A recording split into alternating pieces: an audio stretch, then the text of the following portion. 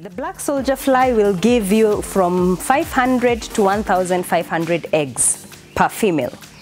And those eggs, we incubate them in substrate of, um, of waste that uh, we have prepared so that we can get the eggs and hatch them. It takes three days for the egg to hatch. And once the egg has hatched, the small larvae start eating the waste immediately.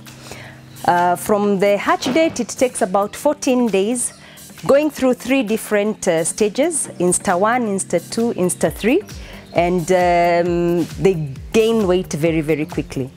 By about Instar 4, it is time for you to harvest them as feed.